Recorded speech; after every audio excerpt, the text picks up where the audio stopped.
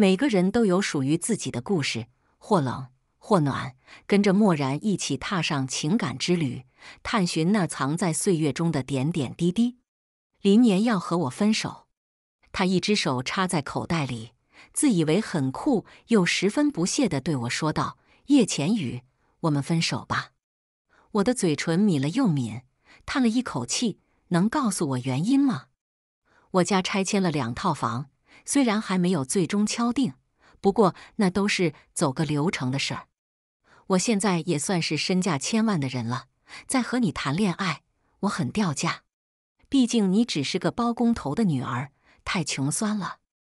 我的双手紧紧的攥成拳头，浑身止不住的颤抖。你真的想好了？他不耐烦的摆摆手：“是我早就想好了。要不是看在你舍得给我花钱，老子早就想甩了你了。”我终于抬起头，双眸沉沉的看着他。好，希望你可以记住你现在说的话，别后悔。他嗤了一声。转身离开，见他走远，我叹了一口气，从口袋里拿出手机拨了个电话号码：“朵朵，出来喝酒吗？”一觉醒来，我的头疼的厉害，从床上悠悠睁开眼，看到房间的摆设，我才发觉不对劲。这里我的喉咙干得厉害，只说了两个字就说不出话来了。这里是酒吧附近的酒店。一个声线干净的男生从我旁边不远处响起，我下意识地抬头看过去，是个少年，看起来比我小，清爽利落的短发，眼睛圆圆的，是我喜欢的那一类型。见我盯着他的脸一直不放，少年的脸微微泛红，不自在的扭过头去。我昨天在酒吧打工，结果你喝多了，一直拽着我不放，你的朋友也没辙。只能让我先带你回酒店。我自己喝多是什么鬼样子，心里还是有点数的。昨天喝的太多，现在还有些头疼。我揉着额角，突然发现他的视线似乎总是不经意的向我看过来。我忍不住起了逗人的心思，在他视线又一次飘过来的时候，和他的视线相撞，挑着眉，笑得恶劣。你为什么一直偷看我呀？你喜欢我？少年似乎是被我的话吓到了，脸瞬间涨得通红。我不不什么。少年败下阵来，头转向另一侧，耳朵红得不像话，声音小小的说：“你衬衫的领口松开了。”我低头，果然领口被我不老实的睡姿蹭开了好几颗扣子，泄出了大片春景。我有点不好意思。不过还是故作淡定的系上自己的扣子，淡淡道：“不好意思啊，我睡觉不老实。”他闷闷的嗯了一声。对了，说起来我还不知道你是谁，叫什么呢？谢谢你照顾我一晚上啊。虽然他的脸还泛着红，不过终于笑了，嘴唇一抿，抿出两颗又圆又深的酒窝和一对可爱的虎牙。我叫宋一书，是 A 大的大二学生。我扬了扬眉，我们学校的。他笑容更深，重重的点头，嗯，你认识我？他笑容中又多了一抹不好意思，嗯，学姐很有名的。想起我在学校流传的那些事迹，我嘴角忍不住抽了一下，下了逐客令。是哦，我现在已经清醒了，如果没什么事的话，你就先走吧。他的眼神看起来有些失望。漆黑的眼珠湿漉漉的看着我，像是被抛弃的狗狗。我心里一动，不过还是什么都没有说。学姐，你们今天第二节课应该是金老师的课吧？你不回学校上课吗？谁的课？金老师。我在心里暗叫不好。金老师的严苛是我们学校出了名的，请假一定要有病历本，迟到直接算早退。三次点名未到，直接挂科。坏了，昨天因为心情不好，喝了不少的酒，直接把这件事情忘得一干二净的了。正在我想对策的时候，宋一书的声音再次响起：“这个时间肯定会堵车的。如果学姐不嫌弃的话，不如我骑车送学姐回学校吧。正好我选修选的也是金老师的课。”我犹豫片刻，点点头。那麻烦你了。等上完课，我请你吃饭。他挠了挠后脑勺，不好意思的嘿嘿一笑，点点头。看到他的自行车，我笑了笑。我以为你们男孩子都是喜欢死飞那种的，没想到这个时代了，居然还会有人骑二八大杠。我偶尔会去接我妹妹放学回家，那种自行车不如这种的方便。他解释道：“你还有个妹妹？”他脸上笑容温和，看得我心头一颤。学姐，怎么了？我摇摇头，没什么，走吧。宋一书的车技很好，在上课铃打响的最后一刻，我们两个人到了教室，在最后一排找了两个空座坐好。刚落座，我就感觉到一抹厌恶的视线。我抬眸看过去，是林年。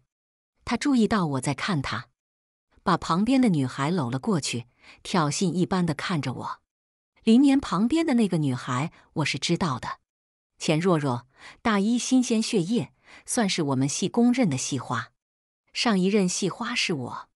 当然了，和我不同的是，钱若若为人随和，总是楚楚可怜的善良模样，比我尖酸刻薄更受人喜欢。我看着林年的动作，突然觉得有些好笑。所谓的配不上他，不过就是他用来敷衍的。不过就是早就喜欢上其他人了，心里的那口气一下就泄了，整个人顿时轻松不少。学姐，宋一书侧过头，在我耳边低语：“你在看什么呢？”他的呼吸喷在我耳朵上，我有些痒，不动声色地躲了一下，摇摇头：“没什么，上课了，好好听课。”哦，他退了回去，真的开始认真听讲。我收回自己的思绪，也开始认真听起课来。今天课里讲的内容都是重点，我的神经一直紧绷到下课，才终于得以放松下来。宋一书在一旁问道：“学姐，刚才课上讲的内容你都听明白了吗？”我点点头，还可以，基本上都听明白了，只不过有些还是要回去再复习一遍。那不如一会我们去图书馆吧。正好我刚才有几个知识点不是特别懂，还想向学姐讨教一下。我微怔，见我错愕的模样，他眼角耷拉下来，又是一副被抛弃的模样。学姐不是说要请我吃饭的吗？难不成只是随口一说？我该怎么说呢？我确实只是因为客气随口那么一说的，没想到他真的当真了，看起来居然还有些期待。我抿了抿唇。刚要说话，一道声音从我俩桌前响起：“哟，这不是我前女友吗？怎么被我抛弃之后，这么快就找到下家了？”我连眼皮都没掀起来看他，只在心里吐槽自己：为什么当初那么傻，居然看上了这样的一个人？宋同学，你也来听金老师的课吗？温温软软的女声响起。我望了过去，钱若若脸上带着一抹羞涩，目光热切地盯着宋一书看。反观宋一书倒十分淡然，甚至算得上有些疏离。我在心里暗自发笑，看架势他没少做这种拒绝人的事情。林年看我嘴角微微上扬，顿时不满，说话的态度也变得恶劣。喂，叶浅鱼，我和你说话呢，你聋了，听不见？他的声音没有刻意收着，引了不少还没有走出教室的同学的侧目议论。我淡淡的看了他一眼，好笑的反问：“你说话，我就要回答。你以为你是谁？不过就是我的前男友而已。你……”他梗着脖子，脸涨得通红。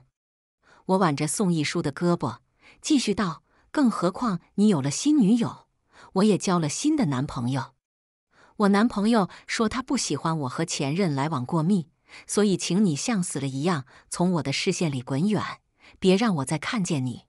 说完，我便拉着宋一书离开了。我一直往前走，直到耳畔听到宋一书无奈的声音，才回过神，意识到还挽着他的胳膊。我连忙松了手，低着头说：“抱歉，我刚才一时情急，拿你做了挡箭牌。”没关系的，学姐，刚才事发突然嘛，可以理解的。谢谢你。他叹了一口气，声音里的无奈又多了一分。学姐，你别哭啊，搞得好像我在欺负你一样。我的视线模糊了大片，眼泪终于砸了下去。他把我揽进怀里，我甚至能够听见他强有力的心跳以及淡淡的柠檬清香。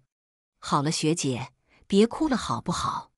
我请你吃饭，我快要饿死了。我鼻音浓重，说好了，我请你吃饭。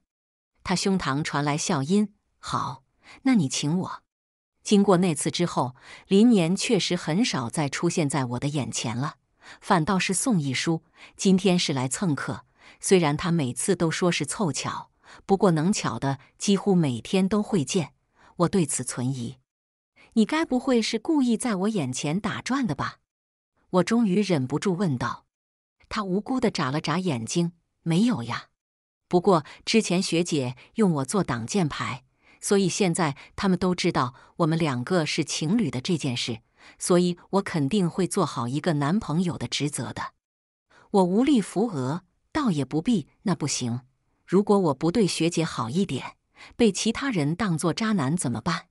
他说的义正言辞，我被他唬住了，只得点点头。那好吧，等之后找个由头再分手好了。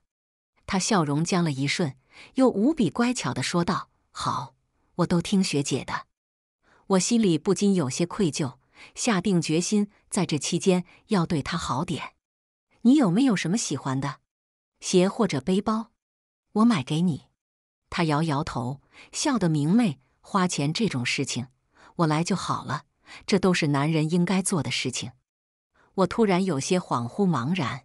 其实当初我的名号之所以响彻学校，就是因为轰轰烈烈的倒追林年。我从来没有谈过恋爱。林年是校篮球队的，高高瘦瘦，长得好看。我第一次看见他便喜欢了。于是开始使劲的追求他，给校队所有人买水，给他买周杰伦的演唱会门票，最后终于如愿以偿和他在一起。不过在一起之后，并不是和我想象的那样好。我觉得我们之间甚至算不上是情侣。可我喜欢他，所以直接忽视那种不自然。再后来，林年半夜给我打电话，喝醉了，让我去接，我没去。他过生日的时候，我给他叠了一罐子一千颗的吸管星星，他嫌廉价，和我大吵了一架。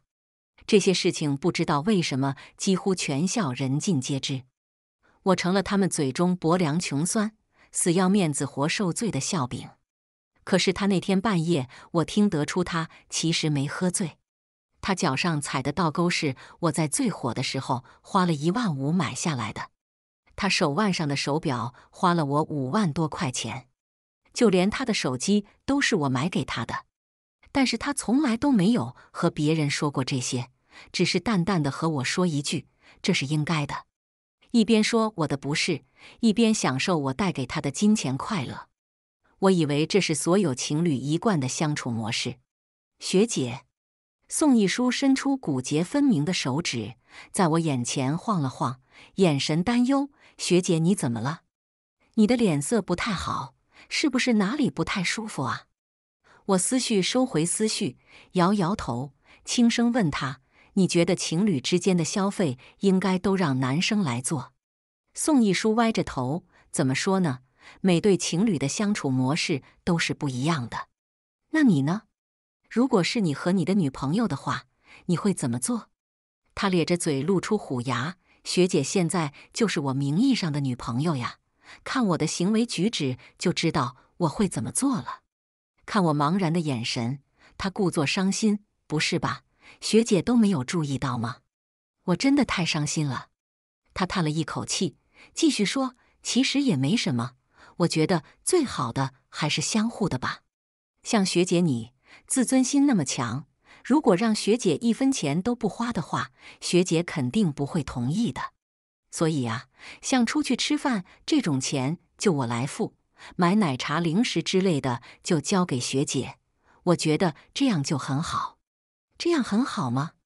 他看着我，悠悠问道：“学姐，你不会没谈过恋爱吧？”我脸颊发烫，故作镇定地回答他：“谈过呀，你不是见过我那个前男友吗？你们两个接过吻吗？抱过吗？拉过手吗？他笑意染上眉梢，大掌揉了揉我的头。学姐，连拉手都没拉过，这不叫谈恋爱。我不甘心的看着他，反问：“那你呢？你这么说起来，头头是道的，你谈过吗？”他笑容僵住，扁扁嘴：“我也没谈过，但我就是知道。”切，学姐。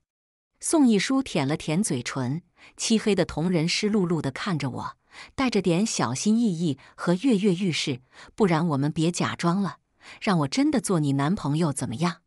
宋一书问我的问题，我没回答，从他的身边逃开了，心跳得很快，像一团乱麻一样，完全不知道怎么回答他，因此也就刻意的避着他。他似乎察觉出来了，也开始躲着我。只是不一样的是，第二小节上课的时候，我的桌子上会出现一些小零食，有的时候是奶茶，甚至掐算着我的生理日期，给我送了一杯热的红糖水。我看着那杯红糖水，陷入沉思：他到底是怎么知道我生理期的？哟，怎么看不见你那个男朋友了呢？终于受不了你，把你甩了。林年的声音阴魂不散的出现。我喝了一口红糖水，又热又甜，到胃里暖暖的，连生理痛也缓解了几分。林年看我不搭理他，觉得面子上过不去，抬高了调门，又说道：“和你说话呢，听不见。”我抬眸，对着眼前这个我曾经喜欢的不能再喜欢的人，心中除了平静就是厌恶。你管好你自己的女朋友就可以了，我的事用不着你来操心。我声音清冷，原本就不舒服，因此也多了几分不耐。他冷笑，我好心好意的问候你，你就个态度。早就告诉过你，你的脾气太差，要改。都说了，你这样是不会有人要的。我捂着肚子，还没等说什么，旁边的一个女生皱着眉说：“你没看到他很不舒服吗？公共场合这么大声的说私事，你觉得合适吗？”林年不耐烦地吼了一声：“我和他说话，你插什么嘴？你算老几呀？”那个女孩被吓了一跳，不过还是继续壮着胆子帮我说话。本来就是，这里是上课的地方，要说什么事情也得等放学之后再说。其他人也议论纷纷。林年见事情有些不受他的控制，狠狠地瞪了我一眼，气冲冲地离开了。谢谢你啊。我有些虚弱的对旁边的那个女孩说：“女孩摇摇头，有些不好意思的说道：‘不用客气，我只是看不惯他那种做派罢了。而且我发现你明明和留言里说的不一样，明明很好。’我勾了勾唇角，勉强抿出一抹笑意：‘你还好吧？要不然我送你去医务室吧。’想着我现在这个状态也学不进去，只好点点头：‘谢谢。’麻烦你了。到了医务室，医生给我开了一片止痛药，我躺在床上昏昏沉沉的睡了过去。再次睁眼的时候，宋一书的背影出现在我的眼前。他坐在床边，手里拿着手机，似乎是在回消息。我动了一下，他敏锐的察觉到，转过头，紧蹙的眉心略微舒缓。你醒了。我含糊不清的嗯了一声。肚子还疼吗？我如实点头，还有点。那我送你回去。我不住宿舍的，我在校外租的房子。那我送你回去。我没有拒绝，点点头。好。六月的天阴晴不定，他刚送我到家，外头开始下起了雷雨。他抬头看了我一眼：“学姐，你有伞吗？借我一把吧。”我看着窗外的狂风暴雨。抿了抿唇，你就先在我家待着吧。外面风太大了，就算我把伞借给你，你也肯定会被淋湿的。他看起来有些惊讶，不过很快就露着虎牙笑了。好，谢谢学姐。不然作为报答，我给学姐做顿饭吧。学姐想吃什么？粥吧。我没什么胃口。他点点头。你先回去躺着吧，我做好了叫你。我点点头，回到房间，躺在床上。心脏扑通扑通的跳个不停。我睁着眼睛盯着天花板，就是睡不着。老实讲，这是我第一次带男生回这里。就算是之前林年再怎么明示暗示，我都没有同意过。可是不知道为什么，我总是会下意识的纵容宋一书。这是喜欢吗？我有些茫然，打开了和江朵的聊天界面，给他发了过去。他很快就回了我消息：“姐妹，相信我，你绝对是喜欢上他了。”我捧着手机发呆，恰好宋一书做完饭，敲响了我卧室的房门。学姐，都做好了，你起来趁热吃一口吧。好，我拍了拍自己的脸颊，努力让自己镇定，然后走了出去。他把做好的粥和饭菜盛好，放到桌子上。我不禁有些惊讶：“这些都是你做的？”他抓了抓后脑勺，扬起一个略微腼腆的笑：“是啊，我父母比较忙，所以以前都是我给我妹妹和我自己做饭的。”我点点头，忍不住说了一句：“你妹妹还真幸福。”他挑着眉梢问：“学姐，你羡慕？”我如实回答。确实挺羡慕的，他嘴角一泄，上挑起一个好看的弧度。如果学姐愿意的话，也不是不行。我沉默片刻，轻声问了另外一个问题：“你最近是不是在躲着我？”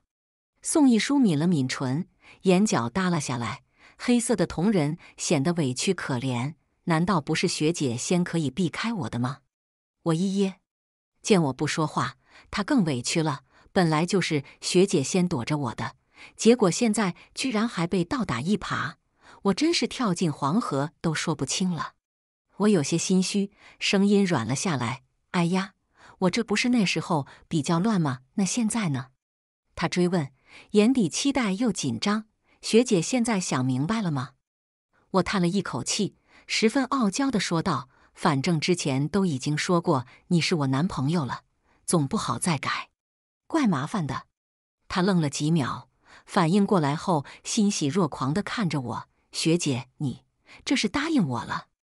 我脸颊有些发烫，转过头去继续傲娇：“你要是不愿意的话，也可以当做我刚才什么都没说。”“不不不，不行！学姐都已经说了，可不能反悔。”他的眼睛亮晶晶的弯了弯，酒窝挂在脸颊上。可爱的小虎牙露在外面，尽显孩子气。我表情也柔了下来，嗅到了饭菜的香味，我肚子感到饥饿。好了，吃饭吧，我有点饿了。他拉开椅子，坐到我的旁边。好，学姐你多吃点，我做饭真的不差的。好啊，我挖了一勺粥放到嘴边吹了吹，一口进肚。我扬了扬眉，味道还不错。他咧着嘴角笑了笑，也开始吃东西。没吃几口，我的手机突然响了，打开看了一眼，是林年给我发的消息。没什么新鲜的，无非就是对我一番冷嘲热讽罢了。我面无表情的拉黑了他所有的联系方式，终于耳根清净。宋一书不经意的问：“谁呀，学姐？”诈尸的前男友。不过刚才已经被我全部拉黑了。他刚要说什么，他的手机也响了一声。我看到他脸上划过一丝冷淡，草草的打了几个字，又扣上手机。怎么了？有人找你？他想了一下，对我说道：“学姐，我妹妹明天放假，要我带她去逛街买衣服。可是我对这些一窍不通，不如你和我一起去。你眼光那么好，挑的衣服她肯定都喜欢。”我有些犹豫。他突然凑近，拉过我的手，漂亮的眼睛一眨一眨的，不知道为什么会让我想到摇尾乞怜的小狗。我无奈的点点头，应了下来。阵雨很快就停了，我给他拿了一把伞。他一边穿鞋一边嘟囔：“要是这雨一直下就好了。”我不解为什么，他笑得无害，因为这样的话，我就有理由赖在学姐家不走了呀。我的脸颊又开始发烫，把他推出门外，回去注意安全。到宿舍记得告诉我。心脏跳得厉害，我把手抵在胸口，讷讷的笑出了声。我难得起了个大早，坐在化妆桌前，开始摆弄我的一堆瓶瓶罐罐。毕竟是去见宋一书的亲妹妹，还是要好好打扮一番的。我满意的对着镜子中的自己点点头，背着挎包去了学校。宋一书上午有课，所以我和他说去学校等他，从学校一起去商场。我抬起手腕看了一眼上面的时间，距离他下课还有一段时间。想了一下，我决定去他们上课班级门口等他。看到站在门口的那个身影，我忍不住挑了下眉梢。钱若若看到我，脸上一直挂着的甜美笑容瞬间一僵。我没理睬她，倚在墙边闭目养神。下课铃很快就打响了，学生鱼贯而出，看到我们两个人都不由自主的小声议论，连脚步都迟缓了几分。学姐，宋一书又惊又喜的跑到我的面前，咧着嘴笑得像只萨摩耶。不是说在校门口等我吗？你怎么过来了呀？我抬起胳膊，他心有灵犀一般，半蹲下来，让我帮他捋头发。出来的比较早，所以就走过来了。这样啊，让学姐久等了，我们走吧。他牵起我的手，刚要走，我拽住他，扬了扬下巴，不急。你看他是不是找你的？他顺着我的视线看过去，眉头皱起来，找我有事？钱若若的脸白了几分，楚楚可怜的说道：“我有些不会的题，想问问学长。”他脸上有些不耐，我又不是你们系的，我怎么会那些题呀？他把我拉了过去，牵着我的手对他说道：“你问我女朋友吧，她和你一个系的，三年考试一直都是年级第一。”你问的问题，她肯定都会。钱若若精致的小脸变得苍白，涂了口红的嘴唇咬了又咬。学姐是你的女朋友？他不可知否的点头。对呀，之前不是都已经见过知道了吗？说起这个，林年好像也是你们系的吧？你男朋友知道你来问我吗？他的脸色十分难看，连客套话都不再说，匆匆离开了。他转过头，看我正似笑非笑的盯着他，有些茫然。怎么了？我的脸上有什么东西吗？我摇摇头。你不觉得他的样子看起来很楚楚可怜吗？我看的心都要化了。他扁扁嘴，她又不是我女朋友，我管她什么表情呢？是哦。他牵着我的手，尾调拖长，像是撒娇。好了，学姐，我们走吧，我妹妹还等着呢。宋一书的妹妹已经上高中了，扎着一个高马尾，眼睛圆圆的，一笑起来眼睛弯弯的。哥，这就是嫂子吗？我被他的一句“嫂子”惹红了脸。他看了看，扬起一抹坏笑：“哥，你不会还没有追到人家吧？”宋一书扬扬眉，牵起我的手，与我十指相扣，介绍一下：“这是你嫂子叶浅瑜，这是我妹妹。”宋一宁，女孩笑得灿烂。嫂子，你叫我宁宁就行。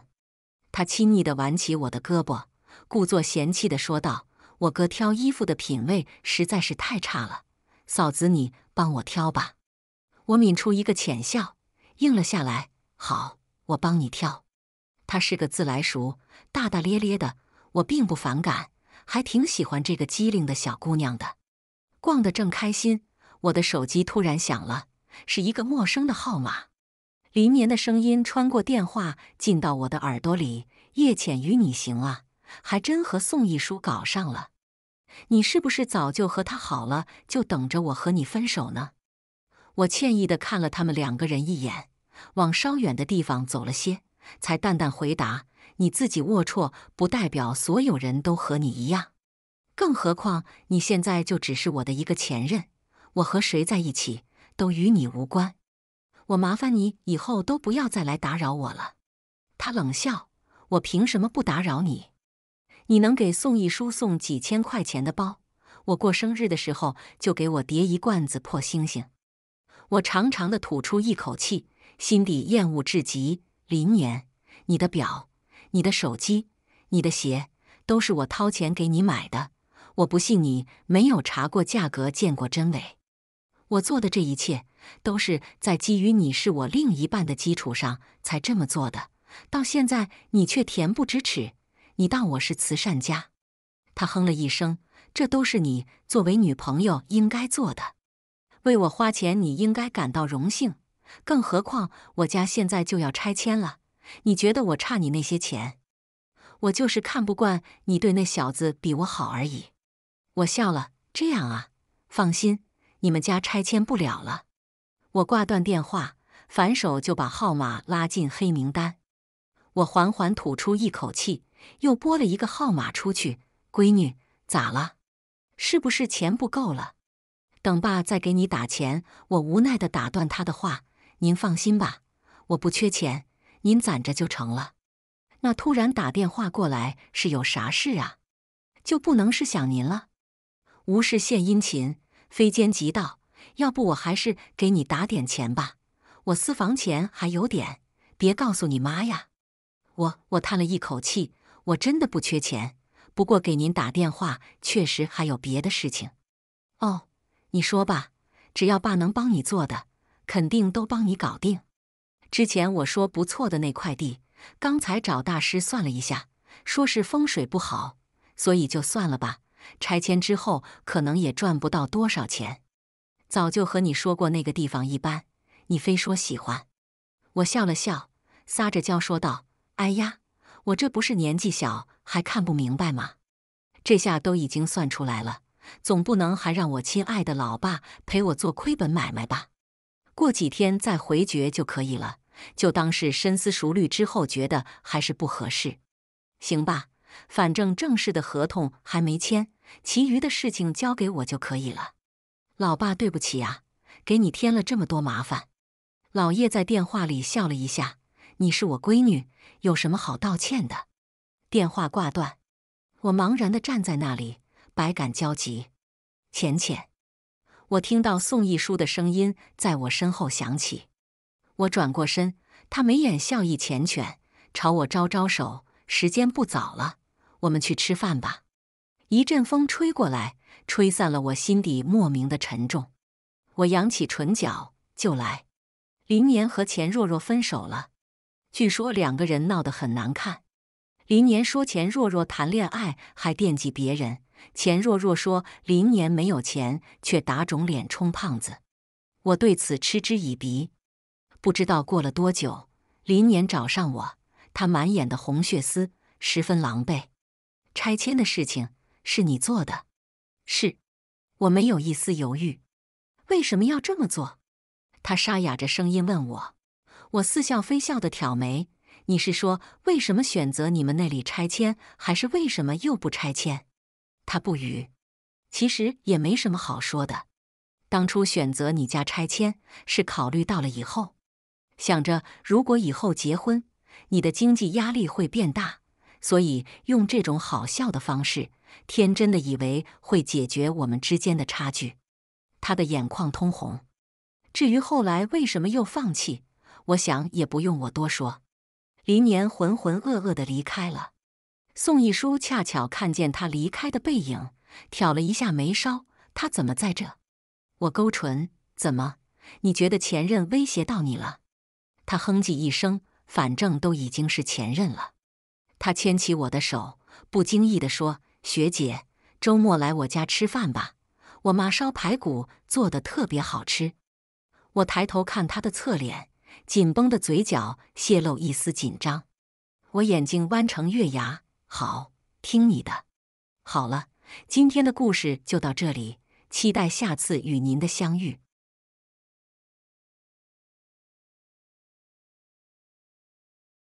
每个人都有属于自己的故事，或冷或暖。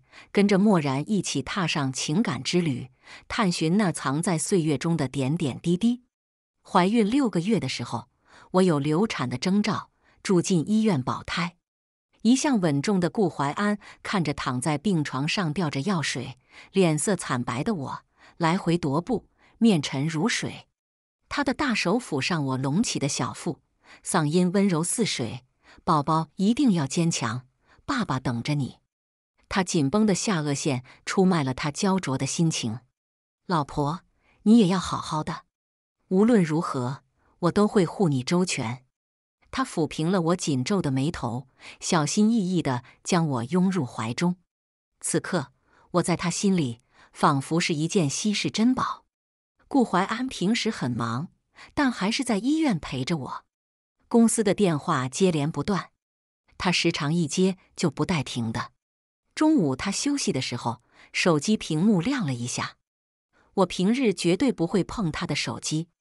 但这次却鬼使神差的拿起他的手机，我点进去微信弹窗，一个备注为月的头像让我心头狠狠一缩。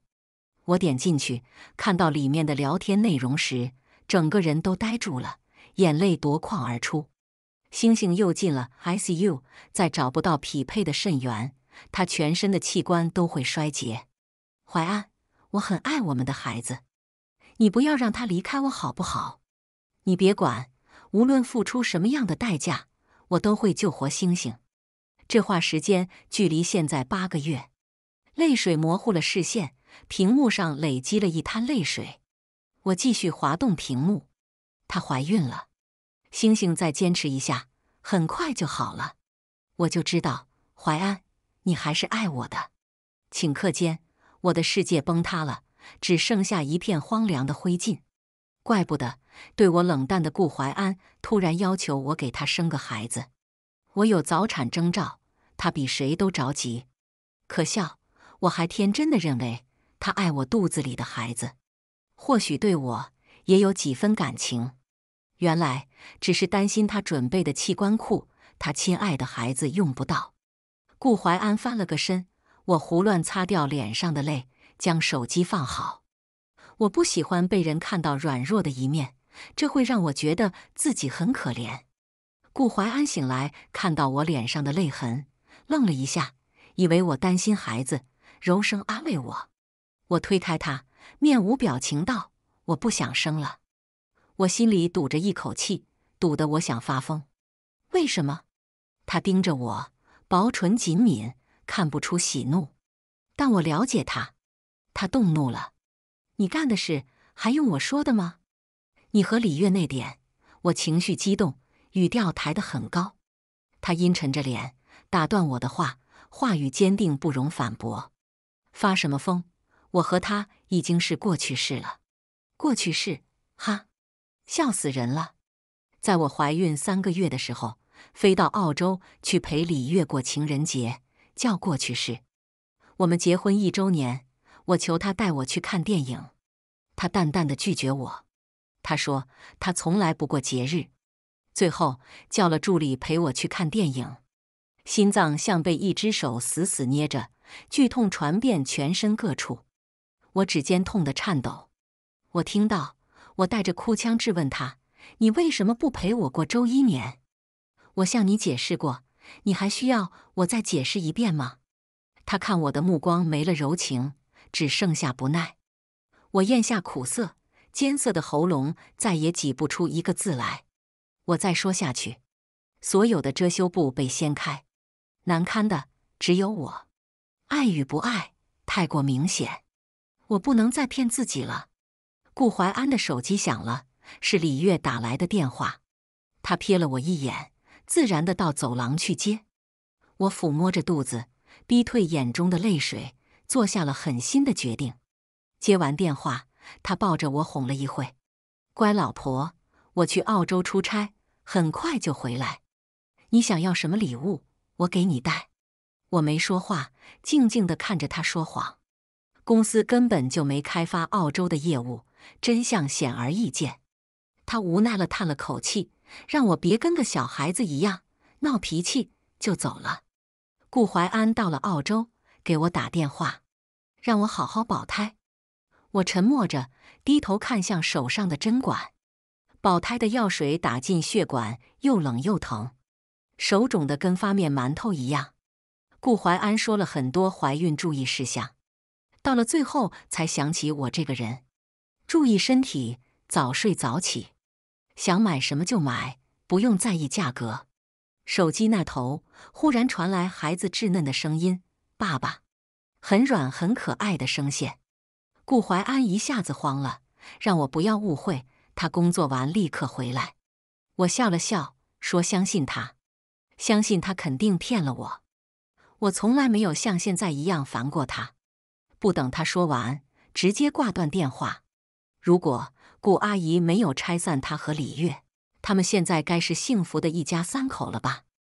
而此刻的我显得格外多余。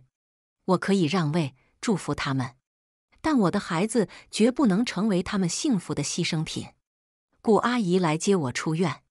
她见我眉眼见布满憔悴，眼眶通红，在了解到顾怀安飞到了澳洲，气得眼前发黑，胸口不断起伏。顾阿姨安慰我，让我不要多想，身体最重要，还给我带了她亲手煲的汤。我是孤儿，顾阿姨对我无微不至的关爱，让我不自觉地想到了“妈妈”这个词。天冷了，提醒我加衣，只要她认为好的，都要给我带一份。我眼睛一湿，差点掉下眼泪。顾阿姨走到廊外打个电话，尽管她压低了声音，我还是能感受到她的气氛。顾阿姨很宠我，她见不得顾怀安对我有半点不好。我是她公司策划部的经理，顾阿姨每次来公司都点名让我招待，一来二去就熟悉了。我暗恋顾怀安三年，从不敢表露，妄想。但顾阿姨莫名的就看上了我，硬是逼迫他跟我约会，然后娶了我。我曾听见他们发生激烈的争吵，顾阿姨语气激动：“李月就是个不安分的主，他跟别人睡了，你还能忍着？指不定哪天就搞出个私生子让你丢脸。”宋玉，我找人看过面相，妥妥的贤妻良母。你不娶宋玉，我死给你看。于是我和顾怀安结婚了。我那时候天真的想，他们都分手了，李月也去了澳洲，只要我一心一意的对他好，他总有一天会爱上我。刚开始剧情的走向如我想的一样，一直不冷不热的顾怀安，从我检测出怀孕开始关心起我来。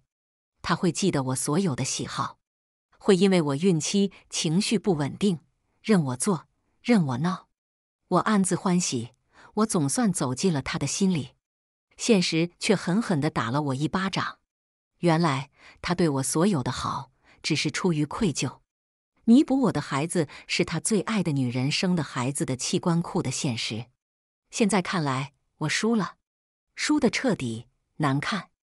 我找了个借口回到老家，躲避顾家的视线，引产，手术室。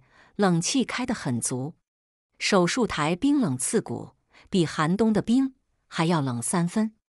我躺在手术台上，医生在准备器械。肚子里的宝宝像是察觉到危险，动来动去，很不安生。我曾日夜摸着肚子和小小的他说话，期盼他的到来。现在我却要杀了他。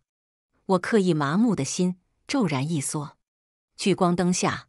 泪水汹涌而出，顺着眼角滑落。你确定要引产吗？再过几个月就要生了。况且你天生子宫壁很薄，这个孩子很有可能是你这辈子最后一个孩子。我犹豫了片刻，咬着牙从气管挤出一个字：做。说完，我像泄了气的皮球，失了所有力气，瘫软在手术台上，任医生摆布。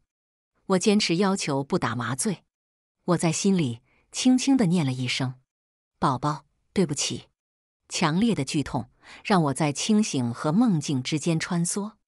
一会是孩子顺利诞生，他获得了全家人的宠爱；一会是孩子被他爸爸摘除器官，移植到另外一个孩子身上。孩子出生不久后就死了，是个小女孩。如果他的爸爸爱她多好。我就会有一个小公主。我强忍悲痛，将她火化，带走了她的骨灰。我失魂落魄地抱着盒子回到出租屋，一坐就是一整天，人好像死了一样，丧失了所有的观感。顾怀安打来电话，清冷的声线带上关切：“宝宝还好吗？”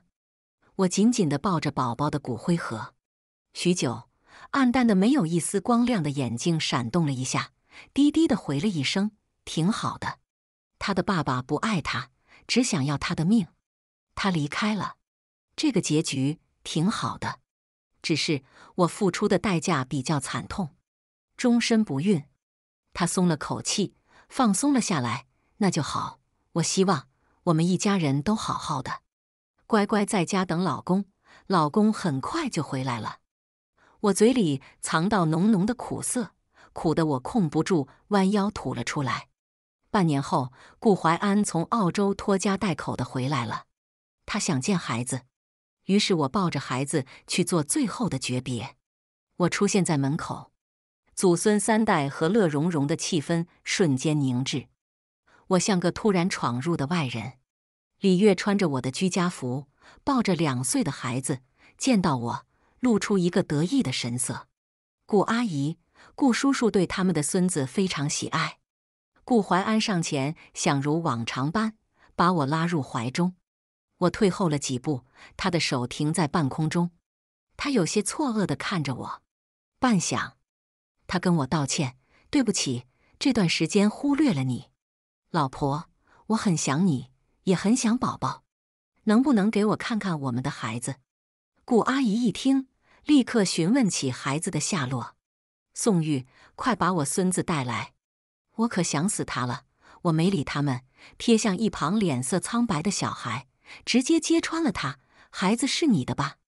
顾怀安慌乱了一瞬，便迅速冷静了下来，拉着我手，想跟我解释。我盯着他死死攥着我胳膊的手，抬眼冷冷地看着他，缓缓开口：“都在这了。”我甩开他的手，面无表情地举起木盒。他闪过一丝不安，双手死死地捏着我的肩膀，质问我：“你什么意思？”我疼得额头分泌出冷汗，我忍着痛笑出了声：“孩子，我打掉了。”顾怀安脸上的血色一点点消散。直至惨白无比，李月的脸色像抹了粪便般又黑又臭。他看我的眼神像寒冬最冷的一场雪，没有半点感情。你凭什么不经过我的允许杀死我的孩子？宋玉，没想到你心肠如此狠毒。我狠毒，比你狠毒吗？我的宝宝还没出生就被你当成了器官库，随时准备个你和李月的儿子更换器官。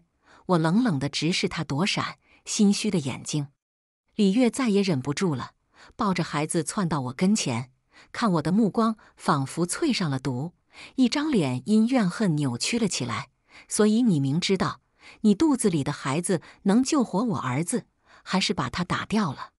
宋玉，你才是杀死我儿子的罪魁祸首！你竟然因为这点小事就杀死了我孩子！我打断顾怀安的话。杀死他的人是你，宝宝只会感谢我，给掐断了他所有的痛苦。他会再找一个爱他的爸爸。顾阿姨从震惊中回过神来，疯了一样推了我一把，我向后踉跄了几步，勉强站稳。她气得脸色发青，用手指着我的鼻子，破口大骂：“往日的关爱在这一刻烟消云散，真不愧是个没爹妈生养的孤儿。”连自己的亲生骨肉都能下得去手，我要是你爹妈，知道你是这副德行，别说养你了，生下来就活活掐死丢去喂狗。果然，关系越密切的人，捅的刀子越锋利。胸口像是被刀锋了一样，刺痛带来一阵抽搐，心里那点愧疚随着痛苦荡然无存。我望着阴沉着脸，攥紧拳头垂在两侧的顾怀安。深吸了口气，我们离婚吧。我祝你们一家三口幸福。我的声音很轻，却像是一记重锤砸向他的心脏。他的眼眶瞬间红了，他的声线依然清冷，只是带上了酸涩的意味。之前确实是我做的不对，是我对不起你。我不同意离婚，我们会好对你。两岁的孩子在李月的暗示下，脆生生的喊了声奶奶。顾阿姨又疯了，这个女人已经打掉了你的孩子，你还要她干嘛？赶紧离婚，给星星一个名分。你不会想星星被人叫私生子吧？她眉眼狠狠一滞，紧握的拳头逐渐松开。他向我解释，说刚开始他确实是想让孩子捐器官，但后来觉得太残忍了，就断了这个念头。不该没问清楚就把他的孩子打掉。他看我的目光带上了责怪埋怨。我冷哼了一声，反问他：“你的儿子和前女友怎么安排？两女共侍一夫？李月给我生孩子，我必须对他负责。”这是身为男人该承担的责任，你不能阻止我尽一个父亲的责任。打掉孩子是我这一辈子做的最对的选择，否则我的后半辈子都会活在你们的阴影中。我说完，拉着行李箱走出了门口，没有丝毫留念。我的心早就在在宝宝火化的那一刻彻底死了。现在的我，表面活着，内里早已腐烂不堪。他拦住我的去路，眼角湿润，声线发抖，带上几分哽咽：“老婆，我们再生一个，我不想离婚。”我喉咙艰涩，笑比哭难看。生不了了，终身不孕。在他呆滞的目光中，我拉着行李箱与他错过。对顾阿姨来说，只要是她的孙子，她都喜欢，无论是谁生的，无论是哪个孩子。对顾怀安来说，这一个孩子与下一个孩子本质上没什么不同。只有我永远记得他来过，陪了我六个月。周五，我在民政局门口等到了他，他眉眼间憔悴了许多。我懒得多说一句废话，提醒他赶紧排队。他被我的冷漠刺痛，眼里化不开的悲伤又浓了几分。宋玉，你最近身体还好吗？有没有觉得哪里不舒服，顾先生？我们马上就要离婚，成为陌生人了。你在我这眼深情有意思吗？我退位了，你该高兴才对啊。那可是你最深爱的女人，你不想娶她吗？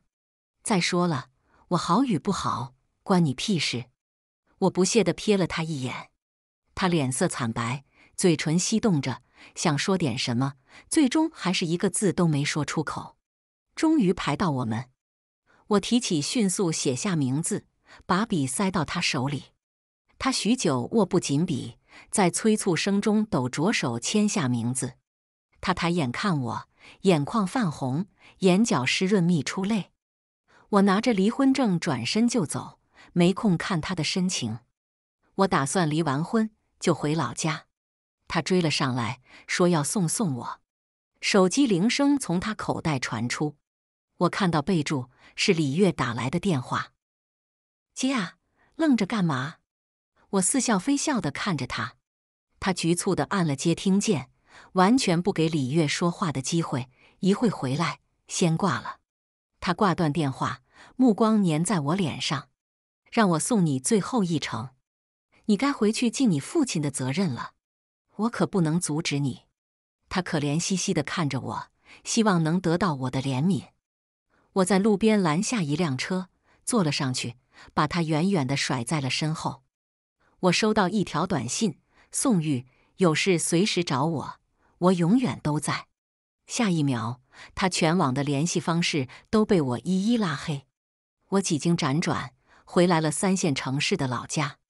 这里有我买的一套老破小，不大，却足够温馨。我把房间布置成我最喜欢的风格。每天都送自己一大捧鲜花，曾经苦苦哀求得不到，现在我要加倍奖励自己。我拿出工作攒下的一部分积蓄二十万，开了个画画培训班，给自己找点事做。时间开始变得很慢很慢，慢到我能注意到缓缓飘下的落叶，太阳下山染红的云朵，注意到世界上每一个美好的细节。学生都下课回家了，终于排到我们。我提起迅速写下名字，把笔塞到他手里。他许久握不紧笔，在催促声中抖着手签下名字。他抬眼看我，眼眶泛红，眼角湿润，蜜出泪。我拿着离婚证转身就走，没空看他的深情。我打算离完婚就回老家。他追了上来，说要送送我。手机铃声从他口袋传出，我看到备注是李月打来的电话，接啊！愣着干嘛？我似笑非笑的看着他，他局促的按了接听键，完全不给李月说话的机会。一会回来，先挂了。他挂断电话，目光粘在我脸上，让我送你最后一程，你该回去尽你父亲的责任了。我可不能阻止你。他可怜兮兮的看着我，希望能得到我的怜悯。我在路边拦下一辆车，坐了上去，把他远远的甩在了身后。我收到一条短信：宋玉，有事随时找我，我永远都在。下一秒，他全网的联系方式都被我一一拉黑。我几经辗转，回来了三线城市的老家，这里有我买的一套老破小，不大，却足够温馨。我把房间布置成我最喜欢的风格，每天都送自己一大捧鲜花。曾经苦苦哀求得不到，现在我要加倍奖励自己。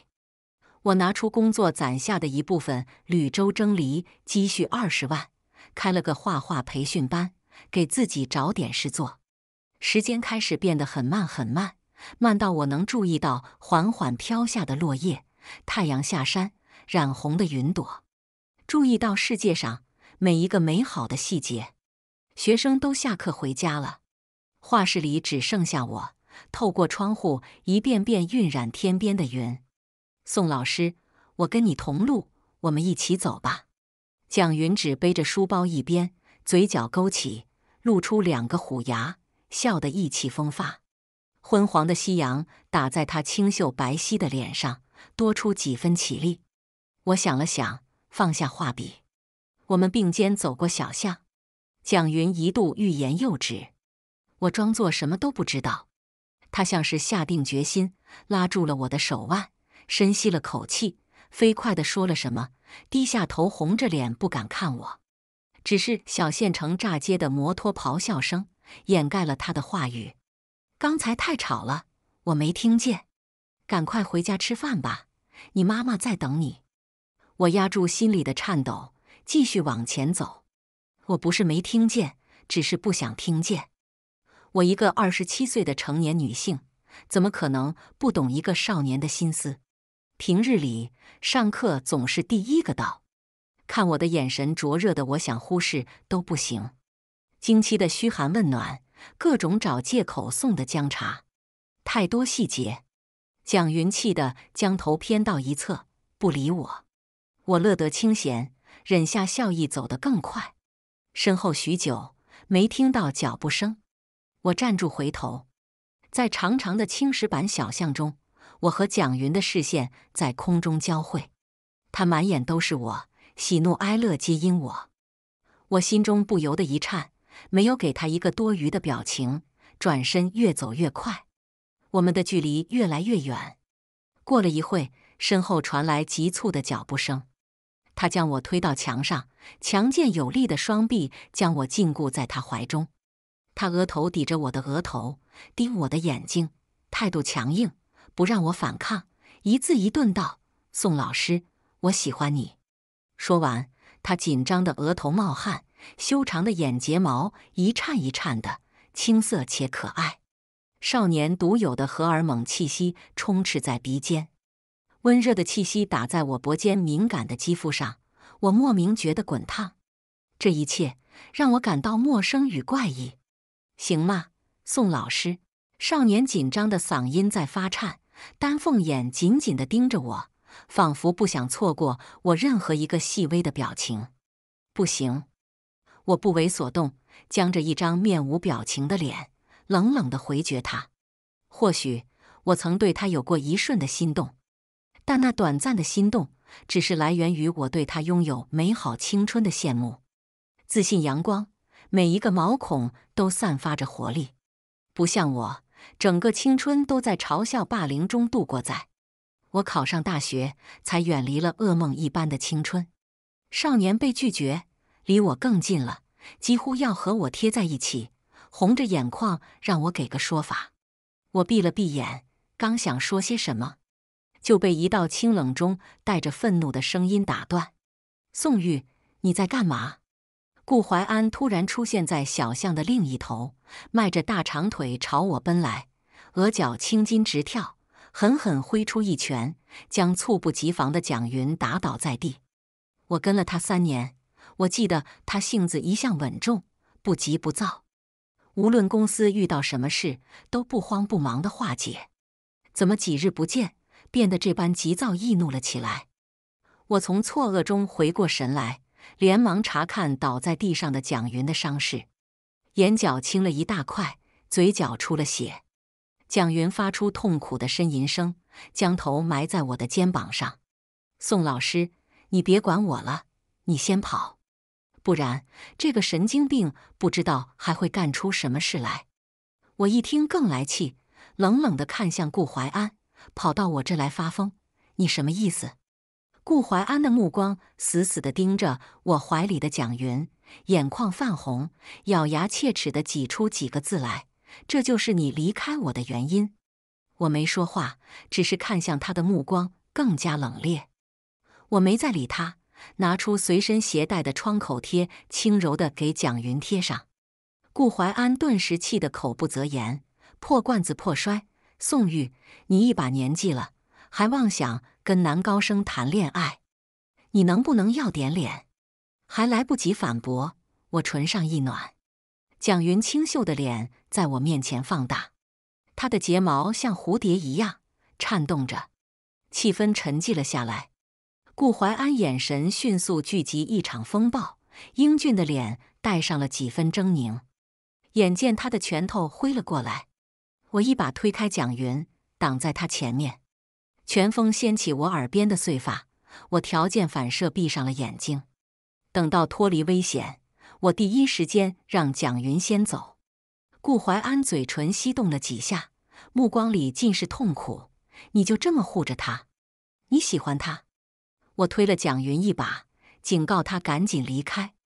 等到少年削瘦挺直的背影消失在小巷的尽头，我也没了顾忌。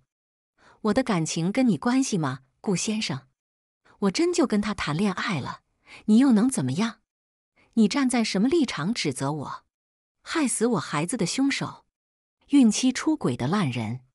我平静地质问他，他脸上的血色一点点消散，半晌才憋出几个字：“原来这些你都知道了。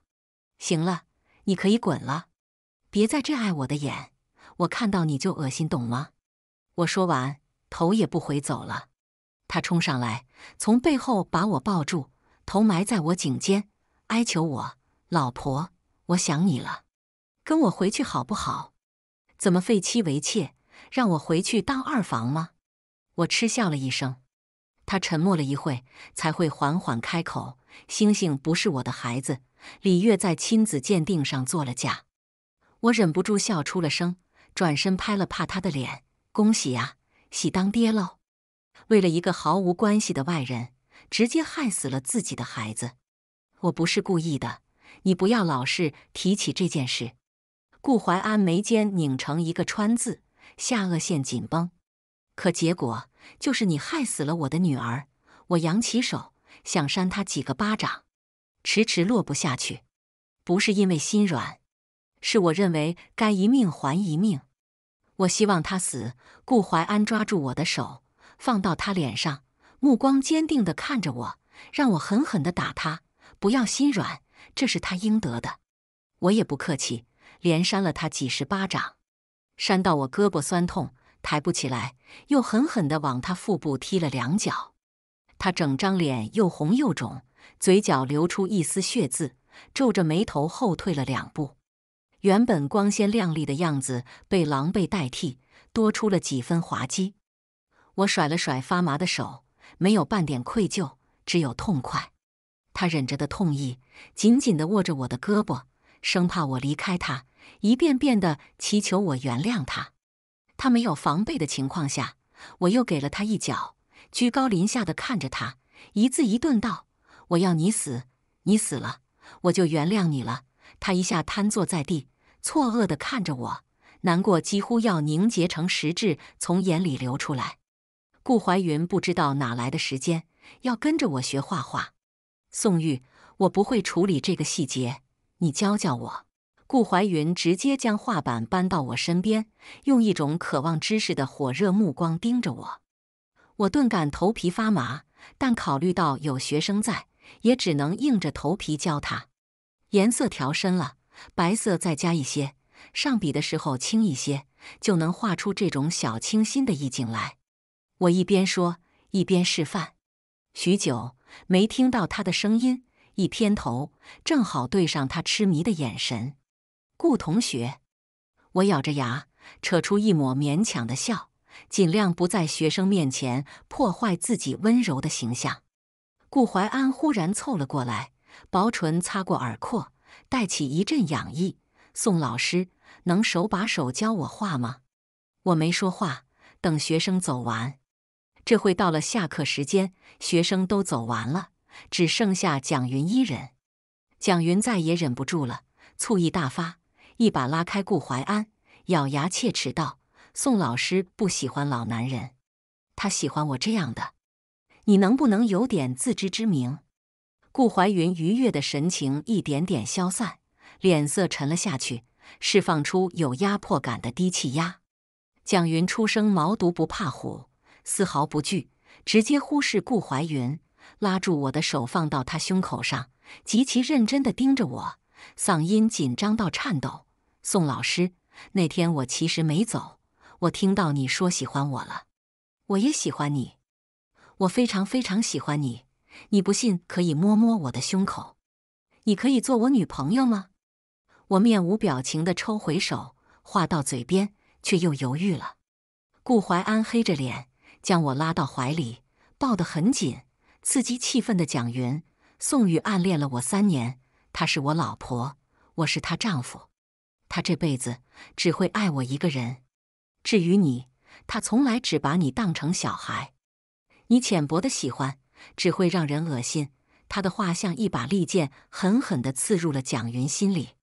蒋云退后了两步，惨白着脸问我：“是真的吗？”我缓缓地点了点头。我不擅长拒绝别人，害怕对方因为我而难过，于是我犹豫了。但顾怀安帮我做了这个恶人，蒋云的眼眶瞬间就红了，转身跑了出去。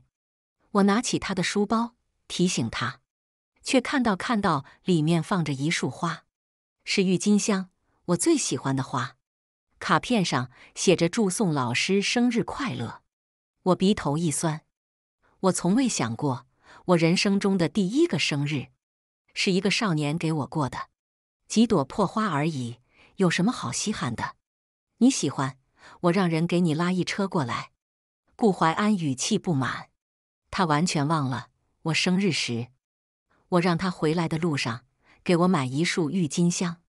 他略带嫌弃的告诉我，他天生不喜欢花，他对花粉过敏。可一转头，他就在情人节飞去澳洲，捧着九九九朵玫瑰讨李月欢心去了。我不值得他顺路买一朵花，李月却值得他各种费尽心思突破喜好的讨好，心里酸酸的，为曾经的自己不值。他想跟我说些什么，手机响了。临走前，他又问我，我究竟要怎么样才能原谅他？我冷冷道：“死。”见我没有半点开玩笑的意味，他脸色难看，沉默片刻，虚假的关心我一番。让我不要跟别的男人说话就走了，我觉得好笑。他算个屁！正上课，手机来电，显示是顾怀安。我本不想接，但这次却鬼使神差的接听了。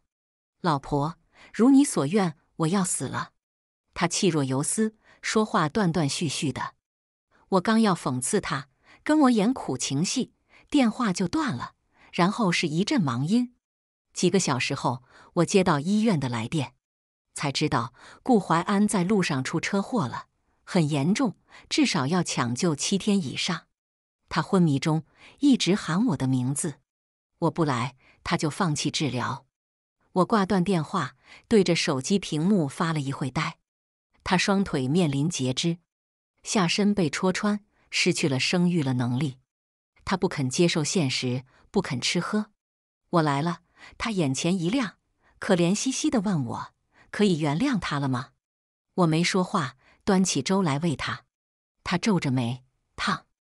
我与病床上裹得跟木乃伊的他对视，下一秒，我端起滚烫的粥，在他错愕的目光中，从他头上淋下。顾怀安，你不会以为你杀死我女儿后，我还会可怜你吧？我希望你现在立刻、马上去死，听明白没？他本就苍白的没有一点血色的脸，惨白如纸。见我要走，红着眼眶拉着我的手腕。求我别走！我毫不留情地将他的手指一个一个的掰开，他的目光一点点暗淡了下来，仿佛心如死灰。我回到小县城，很长一段时间内，我耳边非常的清静，直到某一天，顾怀安转动轮椅跟在我身后，我不耐地问他：“他究竟想干什么？”他垂着眼眸，杂乱的刘海半遮住眉眼。许久，我才听到他小心翼翼的声音：“老婆，能原谅我了吗？”我一脚踹翻他的轮椅，他狼狈的跌坐在地，受伤的看着我。由于没有腿，只能用双手爬到轮椅处。曾经叱咤风云、意气风发的人，变得了这般模样。我既觉得好笑，又觉得心酸。我在他身旁蹲在，凑近他的耳畔，低声道。你不是说怎么样才能原谅你吗？你现在站起来，我就原谅你，怎么样？不过分吧？他瘦弱的身体颤抖了一瞬，归于平静。后来我再也没见过他。好了，今天的故事就到这里，期待下次与您的相遇。